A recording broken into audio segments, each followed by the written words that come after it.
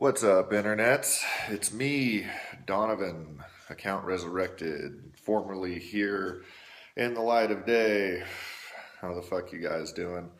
I just uh, was sitting here this morning doing my regular routine and shit, you know, drinking coffee and smoking a bunch of cigarettes and decided to pop on the Alex Jones show. I do that from time to time because it's uh, it's entertaining. And and before you get mad at me and talk about how you know Alex Jones this and Alex Jones that, I'm probably going there with this video, so don't turn me off just yet. I just fucking listen to it because. You know, I fuck, I don't even know why I listen to it anymore. It's just, you know, whether you like him or hate him or whatever, you can't help but like uh occasionally like tune in or see his videos or whatever as you're you're going through life trying to uncover the mystery of how we got this fucked and and uh, what to do next. And you know those people out there looking for you know answers to uh, the ancient mysteries and the ancient questions and everything else are inevitably going to come across alex jones. And you know, for the most part, most people are like him or hate him instantaneously. I was one of the unfortunate people who actually liked him because I saw him uh, do his uh, infiltration of Bohemian Grove, which I found to be quite fascinating, especially considered I uh, considering I hadn't heard of Bohemian Grove at the time and uh, had no idea about these things. It was probably right around the time I had my my awakening, as you would call it, in 2006. Um, but man, I mean, I can't, I can't help but just you know notice how much more he sucks every day that goes by. Like uh, it used to be that there was a couple red flags, like oh, well, there are these people who don't like him, or there's this or that, or whatever, you know. But hold on. But it's fucking, you know, as time goes by. Um, he just gets worse and worse and worse. Um, I've been pretty much a you know a firm believer for quite some time now that Alex Jones is you know not what he appears to be, um, or maybe he's exactly what he appears to be. He's just not what he says he is. You know, he likes to spend a lot of time talking about himself and how he's not this and he's not that. You know, he's not a hero, and you know everyone should be doing these things.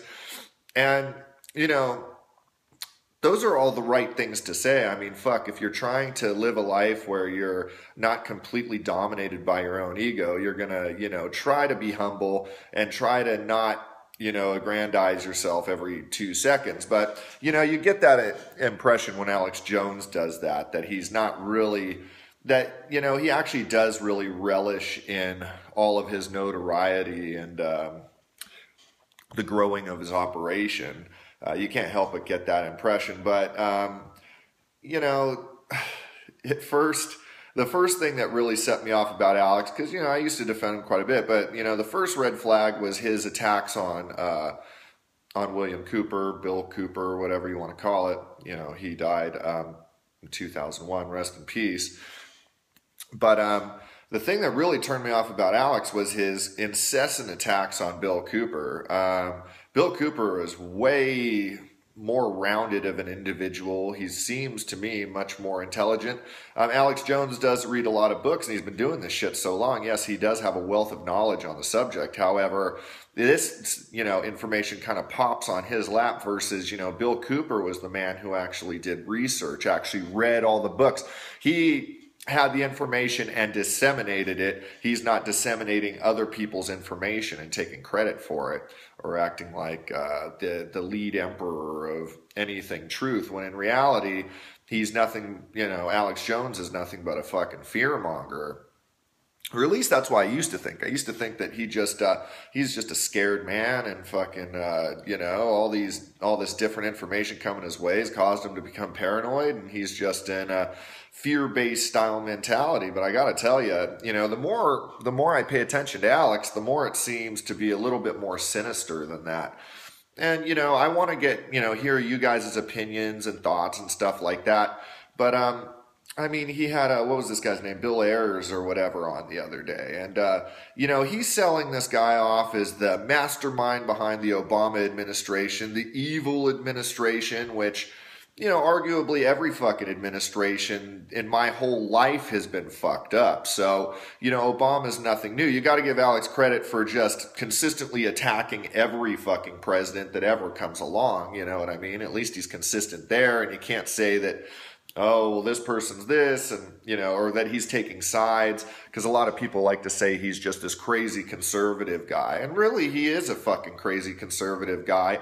And um, he does, you know, make little things, you know, make little comments about the left, about how, no, he doesn't judge, he's nonpartisan and all this shit. But in reality, um, he's ta- he spends a lot of time talking shit about the left he spends a lot of time talking shit about people who are into any kind of alternative theory that wasn't um, that Alex Jones can't take credit for. And he's a big fucking hypocrite. I mean, I, I can't even tell you the amount of times he'll say one thing like, my show is not about aliens and extraterrestrials and blah, blah. And literally a day later, he'll be saying, fucking, hey, check this out. This is Prometheus. This is the story about, you know, extraterrestrial, you know, genetic manipulation of the human DNA and da, da, da, da, da. I mean, the guy is so fucking full of shit.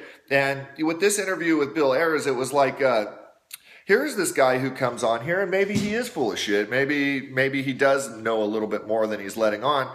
But Alex almost won't even let the fucking guy talk. And what's even worse about that is he's actually like talking down to him and uh, you know calling him you know grand this and grand that. And he's being very sarcastic. And I got to tell you guys who are still watching Alex Jones, you know the whole point of this video is you're not doing yourself or any of us any favors by supporting this fucking machine anymore.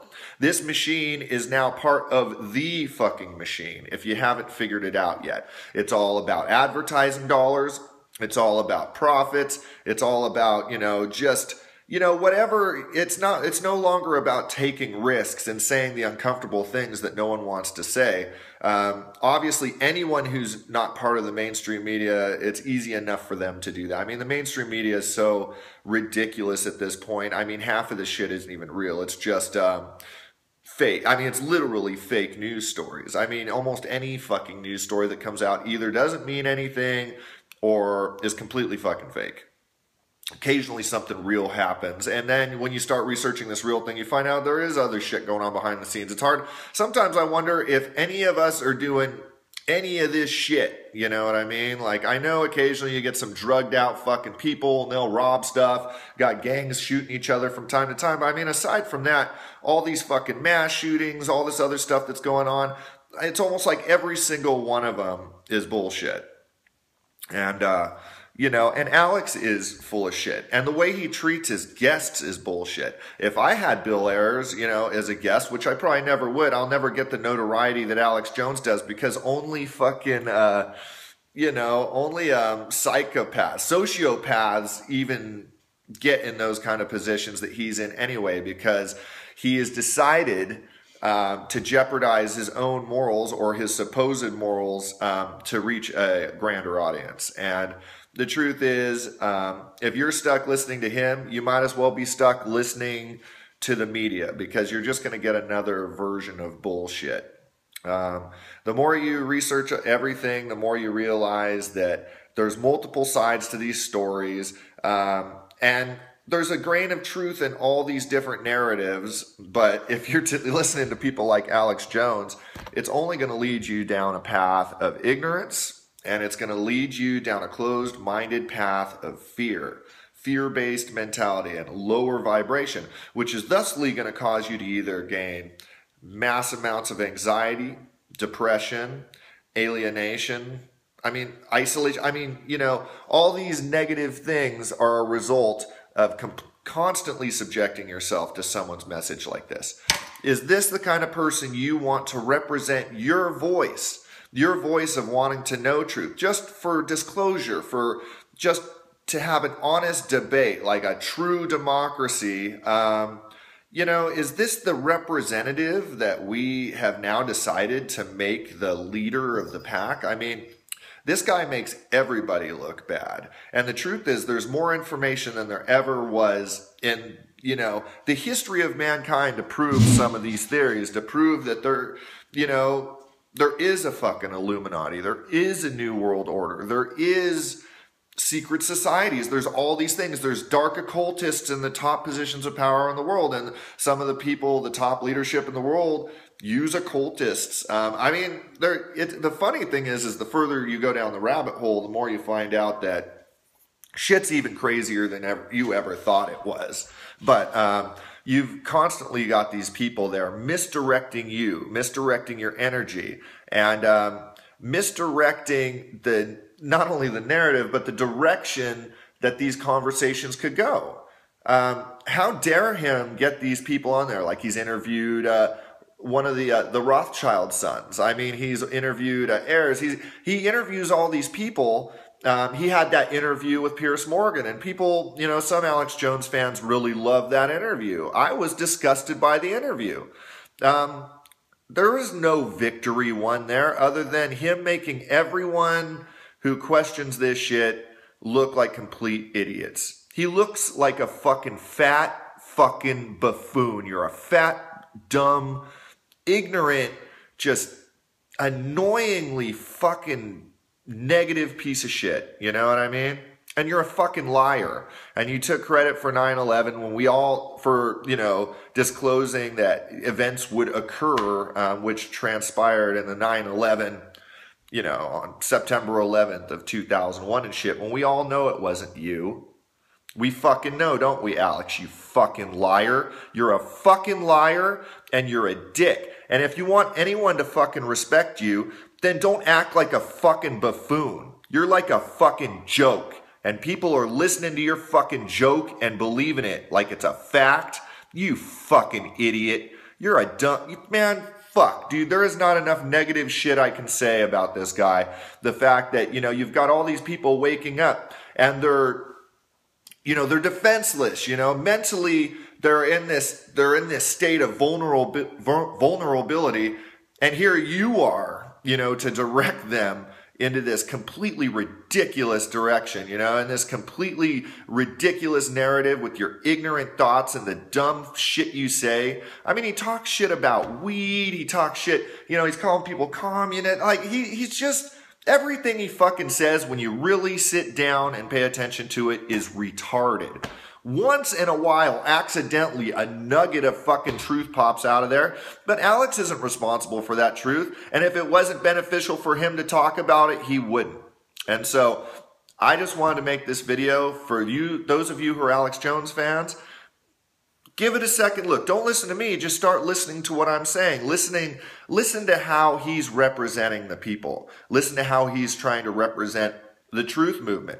The truth movement's to die, and people like Alex Jones are to fucking kill it. They've almost killed it for me, but instead, I'd rather make videos about the fact that there are people who are intelligent, who are trying to make a difference, who are trying to make change, and there a, there's a growing number of people who are perfectly fine with almost anyone assuming that responsibility than Alex Jones. In fact, the truth of the matter is, is a lot of these guys are fucking pawns, CIA pawns put in place so that you feel like you are represented in the movement and you no longer have to involve yourself in it. But I have news for you guys. You have to fucking involve yourself in it. If you don't, if you see someone like Alex Jones going out there and fighting a battle for you, don't pat yourself on the back. You're doing nothing but hurting yourself and everybody else. Love you guys. Bye.